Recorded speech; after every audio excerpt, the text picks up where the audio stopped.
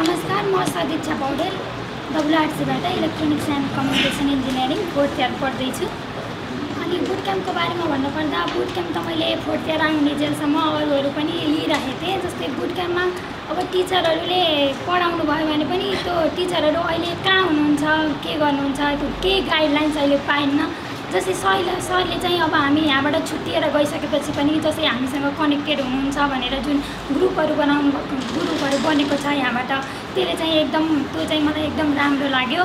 अनि जस्तै सरले पढाउँदाखेरि चाहिँ एकदम यो अरू अरू बुट क्याम्पमा यो चाहिँ गाह्रो रहेछ सम्झिन अब यो कसरी गर्ने हो र अहिले गर्दाखेरि जसरी त्यहाँ हेरेर टाइप अब हामीले त बिर्सिसकिन्छ यो अर्कोचोटि गर्दाखेरि भन्नेवाला हुन्थ्यो तर सरले यहाँ पढाउँदाखेरि चाहिँ पछि बिचमा यो त ट्रिक हो यस्तो हो भन्दै हामीलाई जसरी इनर्जी दिएर सिकाउनु भयो त्यो चाहिँ मलाई एकदम राम्रो लाग्यो।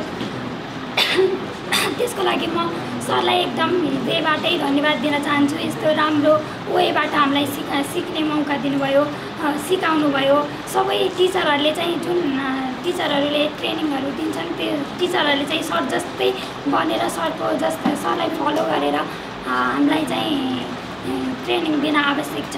यस्तो सरले चाहिँ जुन वेबाट हामीलाई सिकाउनु भयो जसरी ट्रिकहरू गर्नुभयो मैले त भोक लागेको पनि थाहै पाएन अरूहरूले सरले बल्ल भोक लाग्ने बेला भएन तिमीलाई खा भनेपछि बल्ल मलाई भोक लागेको फिल भयो। जसरी सरले जुन वेबाट पढाउनु भयो मलाई चाहिँ एकदम रमाइलो लाग्यो। म चाहिँ एकदम रमाइलोसँग पढेँ। त्यसको लागि म सरलाई एकदम धेरै धन्यवाद दिन चाहन्छु।